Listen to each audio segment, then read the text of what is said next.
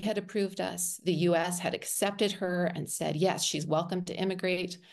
Every T had been crossed, every I had been dotted, except for this one final piece of paper, this travel approval. 美国肯达基州的维奇夫妇收养了两名中国女孩，在二零一九年成功跟在中国的二女儿梅和也已经完成了所有的文件程序，却因为新冠疫情无法将孩子接回家。维奇表示，这位女孩已经叫自己为妈妈了。四年来，每天跟维奇夫妇视讯通电话，分享生活的点滴，一直期待有个家。如今，以梅和的孩童被禁止出国，让维奇非常痛心。无法履行对孩子的承诺。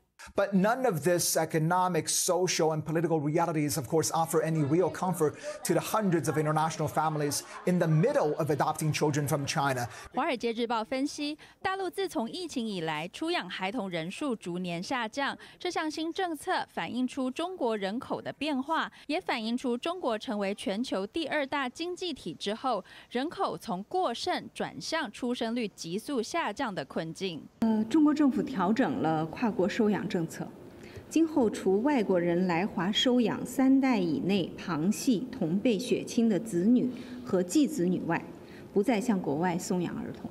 CNN 表示，从1979年到2015年的一胎化政策，导致许多大陆城市家庭将女童跟身心障碍儿童送进孤儿院，也为跨国收养打开了大门。近年来，虽然放宽了生二胎跟三胎，依旧难以拯救中国的人口下降问题。因此，此举或许跟人口数骤降、年轻世代婚姻观改变以及中美关系紧张升温有关联。但是，不管局势如何变化，受害最深的依旧是等待有家可归的孤儿，以及期待能接已没和的孩子回家的数百名父母。记者孙艺珍报道。